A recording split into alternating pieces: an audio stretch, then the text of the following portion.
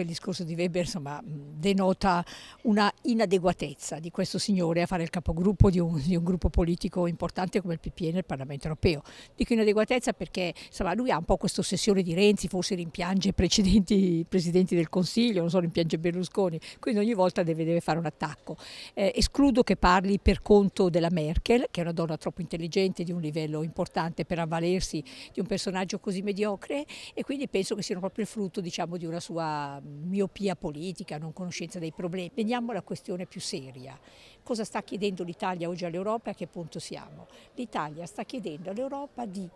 proseguire in una strada di cambiamento che è iniziata anche grazie a noi, perché la flessibilità che ha fatto Juncker è stata chiesta da un paese come l'Italia e da un gruppo politico come il nostro dei socialisti e democratici. Chiediamo che ci sia una politica di crescita, quindi più forza al piano Juncker, più capacità di promuovere il mercato interno ma avendo attenzione a tutto il tema sociale, alla direttiva sui lavoratori, sulla mobilità dei lavoratori, quindi di accompagnare questa politica economica con un'agenda sociale e poi chiediamo una gestione vera, seria, europea, concreta del tema delle migrazioni e dei profughi che diciamo da tempo che grazie all'Italia è diventato un tema europeo ma che poi non ha visto rispettare gli impegni presi. Questi sono i temi che Renzi ma anche noi noi poniamo all'Europa e da cui, da questa Europa, vogliamo risposte. Ma non ci sentiamo estranei all'Europa, noi poniamo dei temi e vogliamo con dignità, con rispetto, concorrere alla soluzione di questi problemi.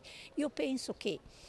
le difficoltà maggiori in Europa oggi vengono dal Consiglio, cioè sono gli Stati che stanno facendo una politica nazionalista, miope, guardano l'interesse nazionale e non l'interesse europeo. L'interesse europeo ad alcuni Stati va bene quando si tratta di ricevere i fondi europei, non quando si tratta di condividere le difficoltà, ma sulla tenuta dell'Europa di fronte alla crisi dei profughi si gioca anche il futuro dell'Europa. Oggi dobbiamo difendere Schengen, perché se noi cominciamo a mettere a rischio Schengen e a,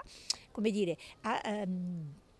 distruggere quel tipo di accordo, man mano distruggeremo altre pietre miliari della costruzione europea. Quindi siamo in un momento molto difficile, l'Italia è un grande paese europeista, ma europeista serio, cioè di un'Europa che funziona, non di un'Europa che rimane ferma, e può essere un grande alleato di chi crede all'Europa. Quindi il tono brusco, deciso, chiaro, eh, forte con cui Renzi ha posto questi temi è il modo per far sentire alla Commissione e al Consiglio che l'Italia va rispettata, è pronta a fare la sua parte, ma vuole che ci siano diciamo, anche attenzioni ai nostri interessi nazionali dentro l'interesse europeo. Io sono convinta che